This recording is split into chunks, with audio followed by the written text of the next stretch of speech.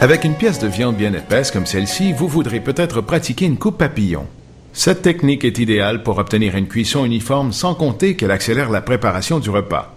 Tout d'abord, je place cette côtelette de porc bien froide sur la planche à découper que j'utilise seulement pour la viande crue. Choisissez pour cela une planche durable dont la surface est lisse et non poreuse.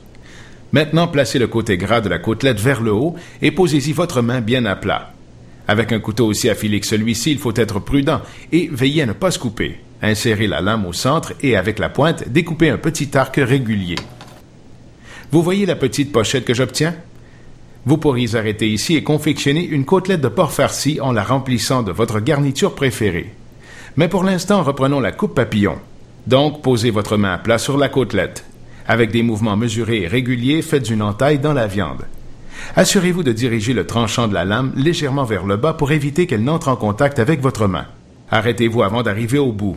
La partie restante servira en quelque sorte de charnière qui vous permettra d'ouvrir votre pièce de viande comme un livre pour la mettre à plat. Voilà, votre côtelette de porc papillon est prête. Je peux parier qu'elle sera la vedette de votre prochain barbecue.